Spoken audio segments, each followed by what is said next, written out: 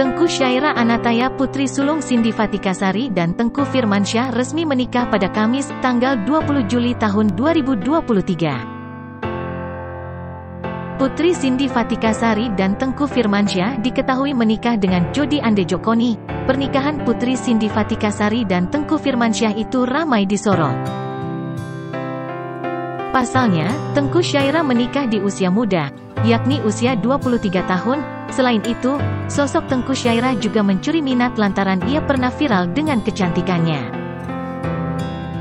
Gadis berwajah bak wanita Timur Tengah itu dinilai begitu mirip dengan ibunya, Cindy Fatikasari, sehingga kini ketika tiba-tiba saja mengumumkan pernikahan, ia mencuri atensi.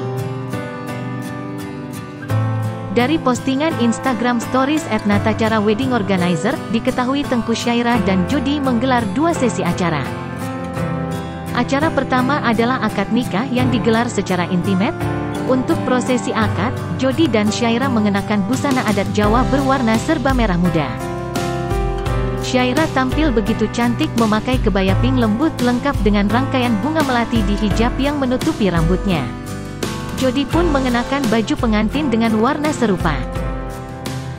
Pada malam hari, acara dilanjutkan dengan resepsi pernikahan, Syaira memilih tema internasional dengan gaun pengantin berwarna keemasan.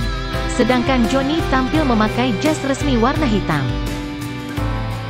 Perjalanan cinta mereka dimulai pada tahun 2016, walau tak pernah terekspos. Namun Jody kerap memberi kata manis pada Syaira melalui akun media sosial miliknya.